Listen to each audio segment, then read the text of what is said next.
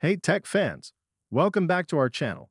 Today, we're diving into the latest and wildest rumors about the upcoming Samsung Galaxy S25 series. We're still about six months away from the official announcement, but the rumor mill is already buzzing. So let's break it all down. The newest and most surprising rumor comes from Digital Trends, citing a Korean site. They claim that Samsung might be using a MediaTek chip in some versions of the Galaxy S25. That's right, a MediaTek chip.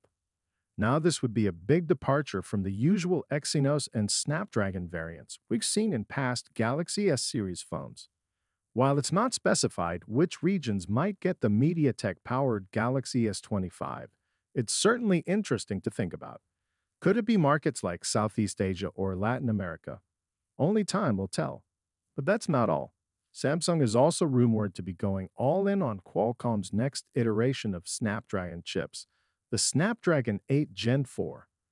These new SoCs are expected to be announced in October 2024 and could bring up to a 30% performance increase.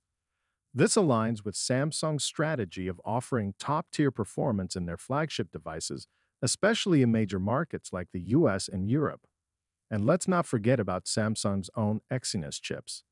There have been whispers that Samsung is working on an upgraded Exynos processor that might also find its way into the Galaxy S25, at least in some regions.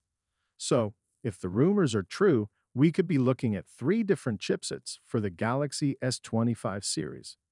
Talk about options. One important thing to note is the pricing. The new Snapdragon chips are rumored to come with up to a 30% higher price tag, this could influence Samsung's decision on which chipset to use in different markets to balance performance and cost. It's a strategic game, and Samsung seems to be exploring all options to stay competitive and cater to different market needs. So, there you have it. The Galaxy S25 series could potentially come with three different chipsets MediaTek, Snapdragon, and Exynos. It's an exciting time for Samsung fans, and we can't wait to see what actually gets confirmed in the coming months. What do you think about these rumors? Would you be interested in a MediaTek-powered Galaxy S25? Let us know in the comments below. And if you enjoyed this video, make sure to give it a thumbs up, subscribe, and hit that notification bell so you don't miss any of our future updates.